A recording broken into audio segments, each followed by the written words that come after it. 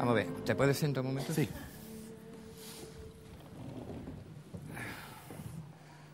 Dos dedos y rómpelo. Rompo la yema. Sí. Y lo Por favor. ¿podemos ver esto? ¿Cómo... ¿Podemos verlo, señores? ¿Sí? Mateo, voy, ¿eh? La rompo, ¿no? No puedo, no tengo maldad. Y tú, es que no mata una mosca y yo no rompo un huevo. Vale, Es una Vale, sensación ya. un poco, desa- un poco Ya, desagradable. ya, ya, ya. Ya está, ¿no? Ya sé que toma. se vea mucha gente. Muchas gracias, Pepe. Fatiga, ¿eh? ¿Esto es bueno para la agujeta? No. Eh, Para todo.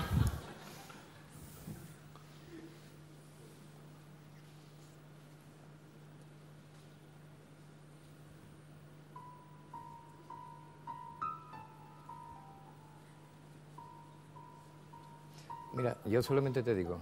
¿eh? no ¿Como me acojones, Pepe? No, no, no, no. No, no, yo nada más te digo. Pepe, no me Tú- digas. no, no, tú coges el vaso, tú mira por aquí. Yo miro por ahí. Dale movimiento, dale un poco así. No mire con la vista fija.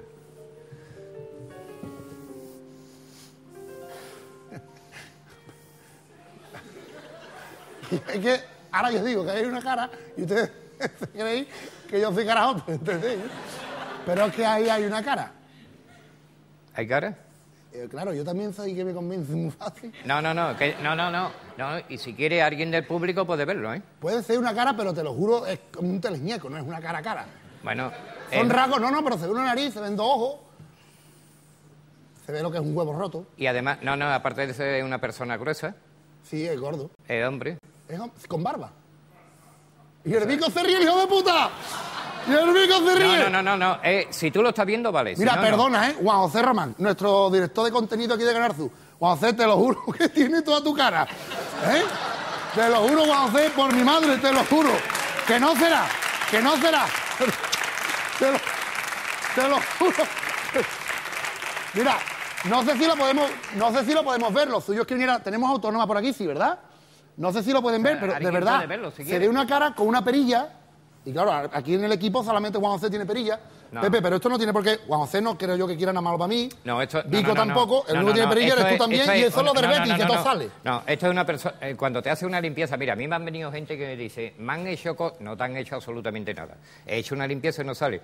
Cuando sale una cara, eh, no es decir que te hayan hecho algo, sino es una influencia negativa No, pero eso- hacia no ti. no eres tú, ¿eh? pero no es que te va cortando los caminos en sí. Pero es una persona ya un poco mayor, es la cabeza anchota, que no es él ni muchísimo menos. Qué bien Pero ahí sí sale.